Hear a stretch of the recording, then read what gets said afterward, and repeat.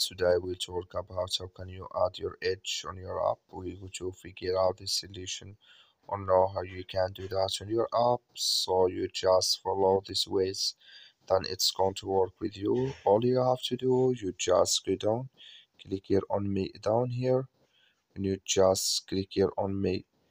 It's going to take you to this list. It's going to show for you like this here then all you have to do you just go here above this sign click on it.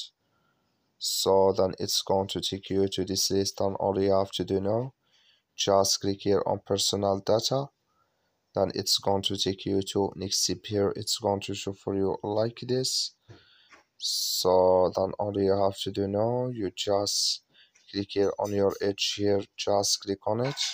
You just click on your edge it's going to show for you a list like this here then here can you select your edge here? When you're down you click here on ok then it's going to add with you.